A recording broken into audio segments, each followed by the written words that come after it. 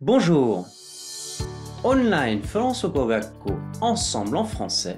講師のアドリアンです今日もとっても役に立つフランス語の表現をご紹介します私はワインが大好きなんですがうーんこのロゼワイン美味しいですねさてロゼワインはこのように淡いピンク色をしていますが、このロゼはある花が語源となっていますが、一体何でしょうか？La rose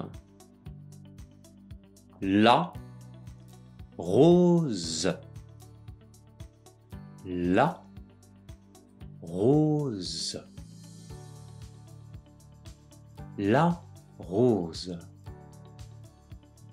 そうですね。バラですね。女性名詞の une rose だと花のバラ。男性名詞の un rose というとバラ、色と意味が少しだけ変わりますよ。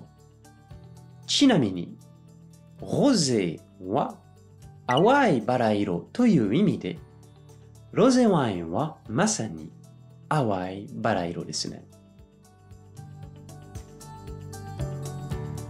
さて、もっとフランス語を勉強したいという方は、Ensemble のレッスンでお待ちしています。ありがとううーん、このロゼワイン、本当に美味しい。